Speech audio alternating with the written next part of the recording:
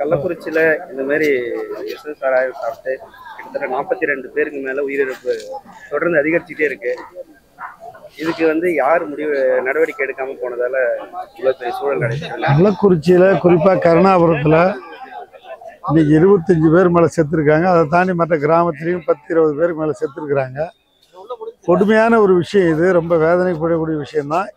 இந்தியாவில் இன்னைக்கு இது கருணாபுரத்தில் நடந்த சம்பவம் ஒரு கருப்பு நாளாகத்தான் நாங்கள் இதை க வேதனைப்போடு சொல்கிறோம் கவர்மெண்ட்டில் எல்லா அதிகாரியும் சரியாக இல்லைன்றதை விட ஒரு நூறு மீட்டரில் விற்கிற சாராயத்தை கள்ளக்குறிச்சி காவல் நிலையத்திலிருந்து அதிகாரிகள் அதை சரி பண்ணாது தான் அவங்க செஞ்ச மிஸ்டேக் தான் நான் ஃபீல் பண்ணுறேன் தொடர்ச்சியாக எல்லாரும் சொல்கிறாங்க இந்த மாதிரி இருபத்தஞ்சி வருஷமாக கண்ணுக்குட்டின்ற விற்கிறான் அதை சரி. பண்ணி கண்டுபிடிச்சி அவன் மேலே நடவடிக்கை எடுக்கணும்னு சொன்னால் சும்மா ஒப்புக்கட்டுக்கு ஒரு ஒரு வழக்கு போட்டு அதை சமாதானப்படுத்தி அவனை வழக்கு போட்டு வழக்கு போட்டு விட்டா அடுத்து ஒருத்தன் விற்கிறான் இவன் ச வழக்கு போட்டு ஜெயிலுக்கு போனான்னா இன்னொரு அவன் குடும்பத்தில் இருக்க தம்பியோ அண்ணனோ தங்கச்சியோ மனைவியோ யாரோ ஒருத்தர் விற்கிறாங்க இந்த கலாச்சார சீர்கேடு தொடர்ச்சியாக நடந்துக்கிட்டு வருது.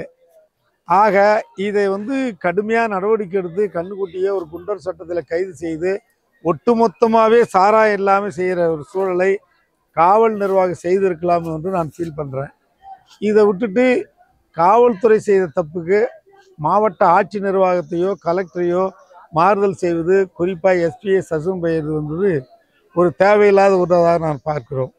எங்களை பொறுத்தவரை அது குறிப்பாக எங்களுடைய தலைவர் திருமாவளவன் சொன்னதனுடைய வழிகாட்டுதலின்படி தவறு எங்கே நடந்தாலும் சுட்டி காட்டுகிற இடத்துல தான் நம்ம இருக்கிறோம். அந்த வகையில் இன்றைக்கி இருபத்தோரு கு- இருபத்தஞ்சு குடும்பம் அனாதியாக நற்கதியாக நிற்குது அந்த இருபத்தஞ்சி குடும்பம் பார்த்தீங்கன்னா அன்றாட காய்ச்சி தினந்தோறும் கூலி வேலைக்கு போனால் தான் காசு அவன் குடும்பம் அவன் வீட்டில் அடுப்பெரியும் இந்த நிலையை இன்றைக்கி உழைக்கிற வர்க்கம் ஏதோ வேலை செஞ்சானா ஒரு நூறுரூவாய்க்கு பட்டை சாராயம் கிடைச்சா போதும்னு சொல்லி அந்த பாக்கெட் சாராயத்தை வாங்கி குடிச்சிருக்கிறோம். இதனால் ஏற்பட்ட விளைவு தான் என்னை பொறுத்தவரை விடுதலை சிறுத்தைகளை என்னுடைய எழுச்சித் தலைவர் திருமாவை பொறுத்தவரை தவறு எங்கே இருந்தாலும் அதை வேரோடும் வேறு மண்ணோடும் பிடுங்கி அதை சரி செய்ய வேண்டியது ஆட்சி நிர்வாகத்தையும் தாண்டி மாவட்ட காவல் நிர்வாகம் செய்திருக்க வேண்டியது என்பதுதான் எங்களுடைய குற்றச்சாட்டு. அதை செய்யாத காவல்துறை மீது கடுமையாக நடவடிக்கை எடுக்க வேண்டும் என்பதை சொல்லி அதோடு மட்டுமில்லாமல் கருணாபுரம் இன்றைக்கு இந்தியாவே பேசப்படுகிற அளவிற்கு ஒரு கருப்பு நாகலாக நாங்களெல்லாம் தலைகுனிந்து வாழ்கின்ற ஒரு வேதனை என்று நாம் பார்க்கிறோம்.